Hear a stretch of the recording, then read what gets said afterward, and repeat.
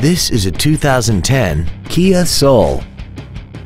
This hatchback has a four-speed automatic transmission and an inline four-cylinder engine. Its top features include traction control and stability control systems, commercial-free satellite radio, aluminum wheels, and a tire pressure monitoring system. The following features are also included. Air conditioning, a split folding rear seat, cruise control, performance tires, a passenger side vanity mirror, privacy glass, an anti-lock braking system, rear curtain airbags, full power accessories, and this vehicle has less than 46,000 miles. With an EPA estimated rating of 30 miles per gallon on the highway, fuel efficiency is still high on the list of priorities. This Kia has had only one owner and it qualifies for the Carfax buyback guarantee.